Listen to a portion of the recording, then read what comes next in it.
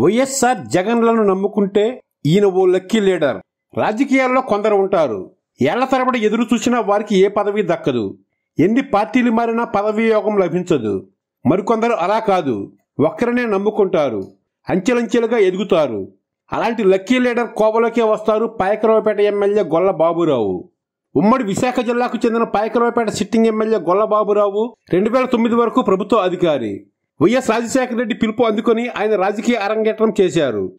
అప్పటి వరకు టీడీపీ కంచుకోటగా ఉన్న పాయకరావుపేటను బద్దలు కొట్టారు. ఆయన పాయకరావుపేటలో మూడు సార్లు గెలిచారు.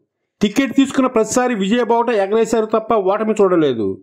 ఆయనను వైఎస్ రాజశేఖర రెడ్డి ప్రోత్సహిస్తే జగన్ కూడా అంతే ప్రేమతో ఆదరించారు.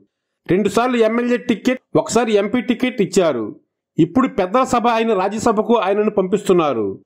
ఆరేళ్ళ పదవీ కాలం కలిగిన రాజ్యసభ సభ్యుడిగా గొల్లబాబురావు ఇక మీదట కొనసాగుతారు. వైసీపీలో గొల్లబాబురావును లక్కీ లీడర్గా అంతా అంటున్నారు. ఆయన ఎన్నికల రాజకీయాలు ఏ గొడవ లేకుండా రాజ్యసభ సభ్యుడు కాబోతున్నారు. అది కూడా వేచి ఉండకుండా ఒక పదవి నుంచి మరో పదవికి ఇలా చేరుకుంటున్నారు. ఇలా ఎంతమందికి అదృష్టం దక్కుతుంది అని అంటున్నారు. తండ్రి కొడుకులు ఇంతగా ఆదరించినందుకు గొల్లబాబురావు కూడా పూర్తి స్థాయిలో ఖుషి అవుతున్నారు.